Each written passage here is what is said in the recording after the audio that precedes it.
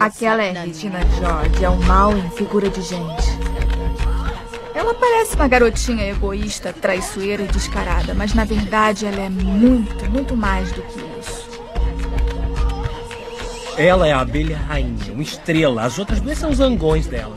Regina George. Como é que eu posso começar a explicar Regina George? A Regina George é perfeita. Ela tem duas bolsas de pele e um carro importado prateado. O cabelo dela está no seguro por 10 mil dólares. Soube que ela faz comerciais de carro.